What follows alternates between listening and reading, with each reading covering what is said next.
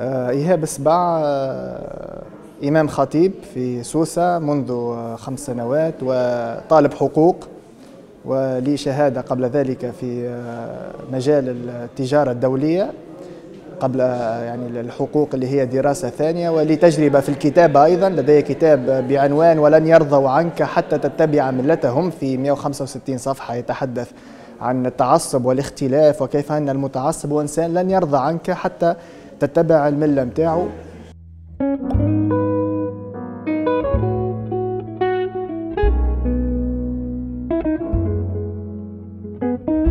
آه، سننطلق بداية من آه، قولة حكيمة للإمام علي اللي هو يعني رجل معروف بالحكمة كيف يقول لك إن هذا القرآن لا يتكلم إنما يتكلم به الرجال.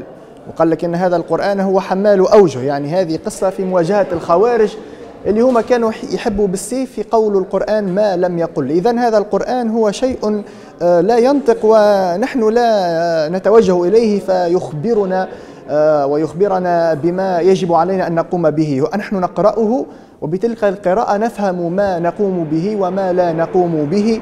إذا إذا كان عقل الإنسان عقلا متحررا متفتحا يقبل الآخر ويقبل الاختلاف ويتجنب التعصب أكيد عندما يقرأ القرآن سيقرأه بطريقة سلسة متعصبة تقبل الآخر وتقدس الاختلاف. لكن إذا يعني تربى في بيئة ربما متعصبة في أب ديكتاتوري يعني مسيطر على العائلة في دولة ديكتاتورية وهذا التشنج عندما يقرأ القرآن سيتحول به إلى الإرهاب وإلى التطرف وسيجد ضالته خاصة نحن ديننا الإسلامي تعرفوا اللي عندنا تضخم في التشريع وفي النصوص إنه بدرجة إنه الإسلام تحب تردوا إسلام إرهابي تنجم تردوا إرهابي بالنصوص وتحب تردوا دين يدعو إلى الحياة ويدعو إلى احترام الآخر تنجم تردوا زاد يعني بتلك النصوص. اذا اذا المسألة مرتبطة في الشخص وفي تكوين الشخص. إذا كان شخصا يقبل الآخر سيقرأ القرآن بطريقة متفتحة. إذا كان إنسان متعصب متشنج سيقرأ القرآن ويخرج منه الإرهاب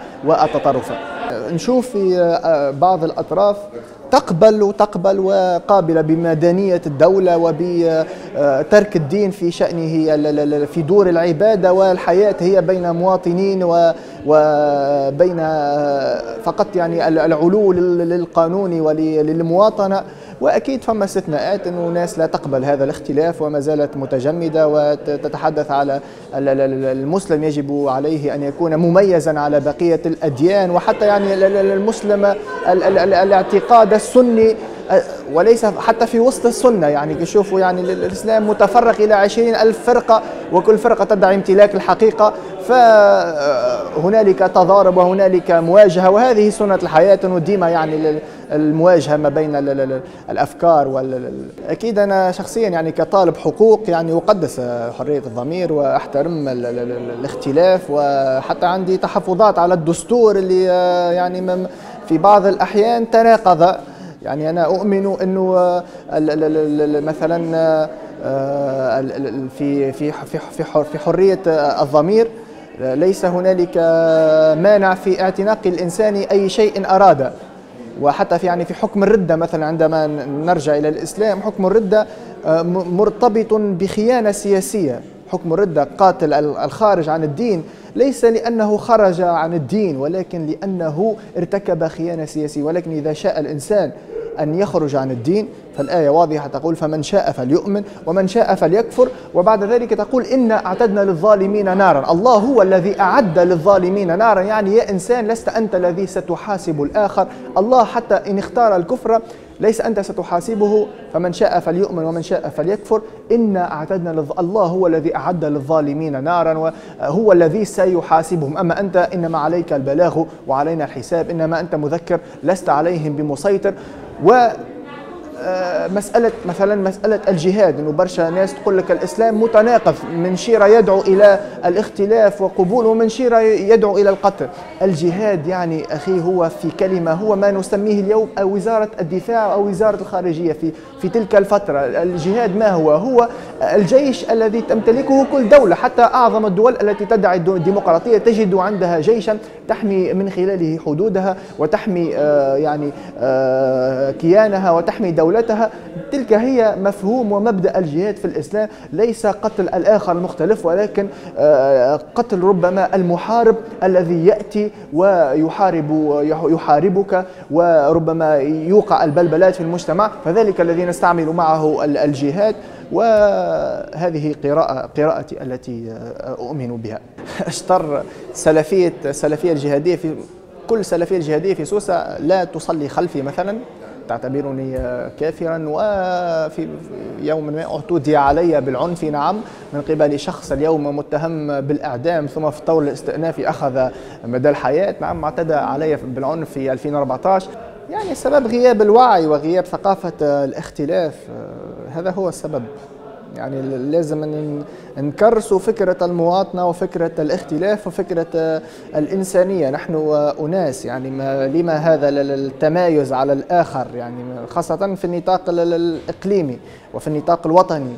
نحن كلنا تونسيون لا فضل على آخر إلا والبقاء إلا للأفضل وليس للأقوى. كلنا سواسية وكلنا العرب جاء واليهود أيضا في جربة يعني نعتز بهم إخواتنا اليهود. مثال جربة يعني جربة يعيش فيها اليهود والمسلمين منذ أمد بعيد ويعيشوا خيان ولكم دينكم ولي ديني هكذا. ولكن في الشأن الإداري وفي الشأن نحن كلنا تونسيون مواطنون تونسيون. حدثتك عن الكتاب الذي أصدرته يعني في تجربة والآن يعني إن شاء الله بصدد إصدار كتاب آخر آه، يتحدث عن حياد المساجد. هو العمل نتاع ختم الدروس نتاعي خدمت على مسألة حياد المساجد في القانون. إحنا عندنا الفصل الذي يتحدث عن حرية الضمير.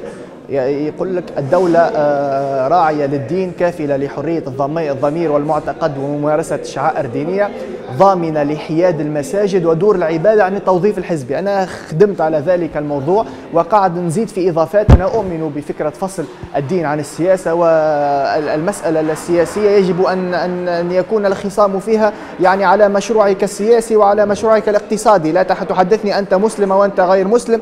هذا كله استغلال الدين. أنا أؤمن بهذه الفكرة. إذا إن شاء الله كتابي الجديد يعني باش يكون في هذا الموضوع. وأيضا يعني من خلال خطب الجمعة نحن يعني نحاول نوعي الناس الجامعة اللي نخطب فيه يعني يجيو فيه يعني الكثير مئات من المئات يعني من الناس. نحاولوا ديما نوصلوا خطاب راقي خطاب بناء ما نقعدوش نحكيو في حكاية فارة نحكي لهم على كيفاش المواطنة نحكي لهم على الاختلاف والتعصب الاسلام نحكي لهم على النظافة كيفاش الإسلام يدعو إلى النظافة. نحكي لهم على على العدل. نحكي لهم على إلى غير ذلك. نحاولوا يعني بمك تعرف خاطر الإمام الخطيب إحنا في ثقافتنا مسموع.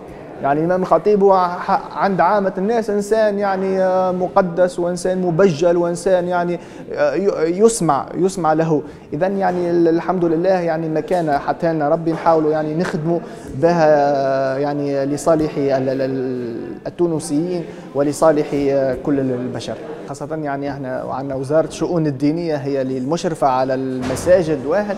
وبعد الثورة تم افتكاك أكثر من نصف المساجد في تونس من قبل وجات يعني حملة تحييد المساجد واسترجاعها من هذه الجهات. وديما يعني وزارة الشؤون الدينية يعني صارمة في هذا الموضوع. يعني الإنسان مش يتعين إمام خطيب لازم يعني تسأل عليه وتشوف خطابه وتشوف النبرة نتاعه وتشوف كذا باش تعطيه القرار نتاعه مش سهل. يعني مبدئيا إنه الائمه الخطباء تو الكل يعني 80% فيهم لا يحملون بذرات التطرف ويلقون يعني آه، خطابا معتدلا متوازنا. الإنسان دوما في تطور يعني. إحنا تونس صحيح هي مثال في العالم العربي يعني وقبلها كانت لبنان وتولت تونس يعني وحتى المغرب زاد. إحنا اللي نعرفوه إنه مثلا اللي نقرأه هاني في الحقوق إنه ثلاث دول وحيدة في العالم العربي اللي لا يحكم فيها العسكر. هي المغرب وتونس ولبنان. وتونس يعني بعد الثورة كانت كان لها الريادة وفما يعني ثورات فكرية. وما زلنا في في في تطور وما زلنا نحاولوا يعني نحسنوا باقي الإنسان ديما يطمح المخير والمخير حتى لين يعني نتقدموا بالوطن.